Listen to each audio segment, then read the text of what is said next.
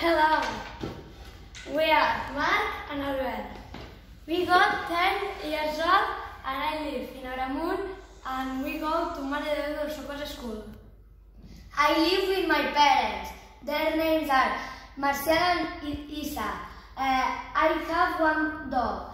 The, its name it, its name is Messi. And mine, I live with my parents and I got one brother and one sister. Their names are Jordi and Carla. I have um, brown short hair. I have brown eyes. I I, I have um, light skin. I I tall. And mine, I got one brown hair, mixed color eyes, I'm small and I have light skin. I'm good. I I'm clumsy. I'm I'm funny. I'm I'm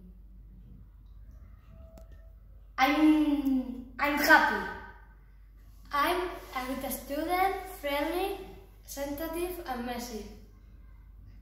I like I, I like pizza.